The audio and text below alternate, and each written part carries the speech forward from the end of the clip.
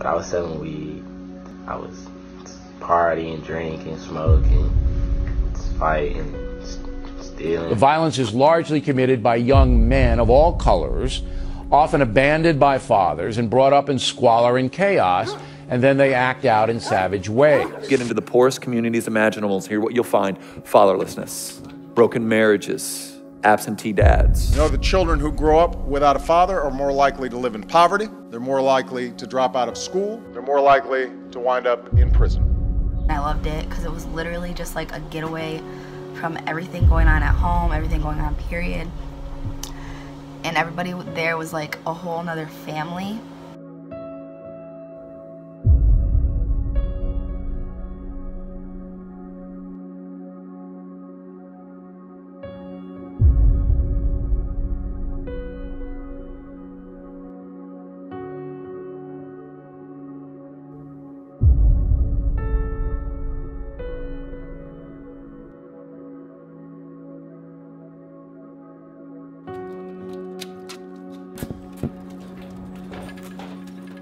Study after study subsequent to this report has shown that the instances of teen pregnancy, drug abuse, uh, uh, school dropout rates, involvement with the criminal justice system rose alarmingly when fathers weren't present in the home. Streets is relatable to, they make it relatable to things that are happening in a teenager's life.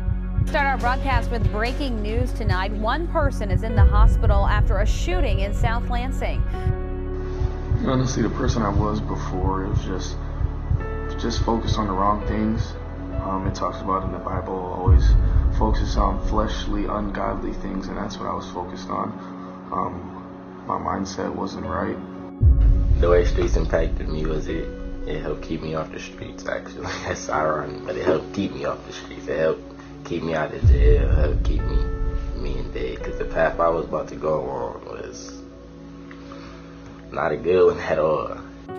It made me realize that I needed to seek God and better my relationship with Him because every time I was going through a rough like time, I would just like I would wouldn't know what to do. And at camp and at streets, it helped you realize like you could go to God.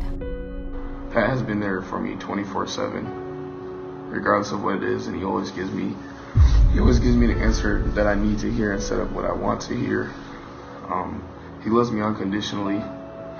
He's just been like a big brother that I never had. Um, like I said, he's the reason I got baptized. He's a big reason why uh, I'm closer to God.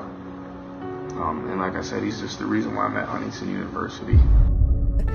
The thing that streets helped me with most was um, making my making me think more in depth about being Christian and and who God is and um, what He's done for us.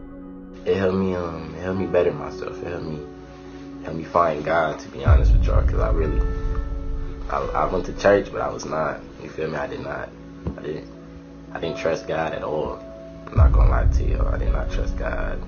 I knew he, I believed in him, but I don't trust. I didn't trust him. I didn't. I'm not gonna lie to you something was wrong, I'd probably call Pat, even though he's two hours away, because I know that he would come help me. I would just suggest to you that if we care about our city and if we care about our communities, if we care about our teens who used to be second graders, and if we care about our second graders who very soon will be teens, if we recognize that it is not not understandable. We can understand it. And if we recognize that we can do something about it, we can play our part, then I'm left with this question. If we know that, what would it say about us if we don't do it?